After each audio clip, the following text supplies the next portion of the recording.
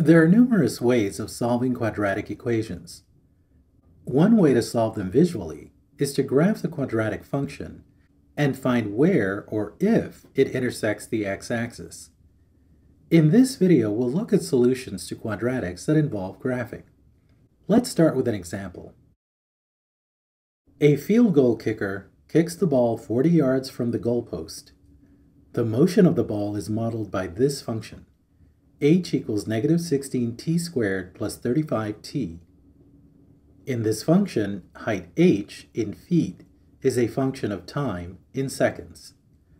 How long is the ball in the air before it hits the ground? Does the kicker make the field goal if the ball had a horizontal velocity of 20 feet per second? First, let's take the quadratic function and graph it. You can use a graphing calculator to do this. Here we see the graph of the function.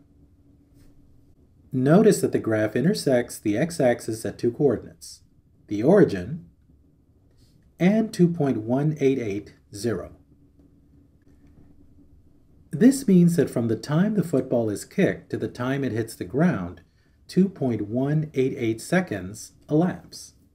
We are told that the ball has a horizontal speed of 20 feet per second.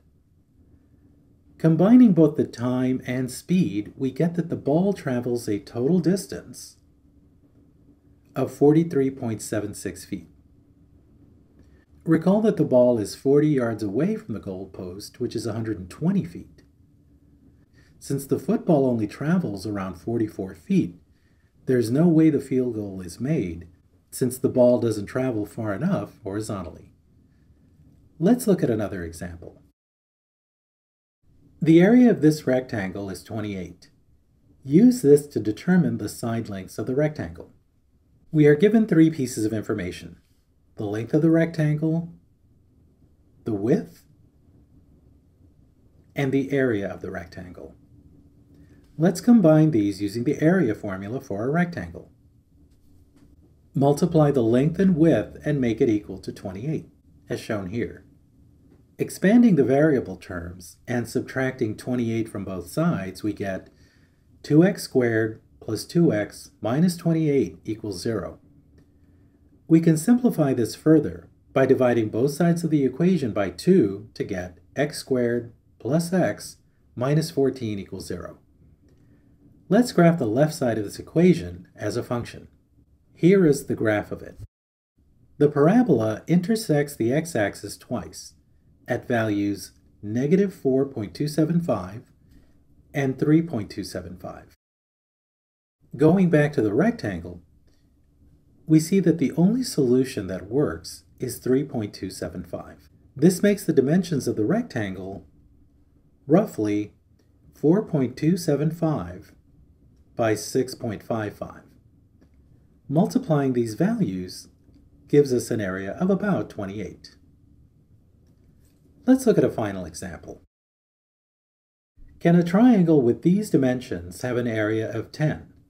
If not, what is the maximum value for the area, as well as the corresponding values for the base and height of the triangle? We know the area of a triangle is 1 half the base times the height.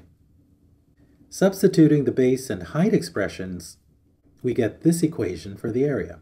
We need to determine if this equation can equal 10. So we end up with this quadratic equation. This is the equation in standard form. Let's take a look at the graph of this function to see if it intersects the x-axis. Here is the graph. As you can see, the parabola doesn't intersect the x-axis. So there is no solution to this quadratic equation. So this triangle cannot have an area of 10. What areas are allowable? We have to find a parabola that intersects the x-axis. If you use different values for the constant term, you'll find that the first allowable area is when the parabola intersects the point 1, 0. For a value of x equals 1, the base of the triangle is 1, the height is 3, and the area of the triangle is 1.5. This is the maximum area for this triangle.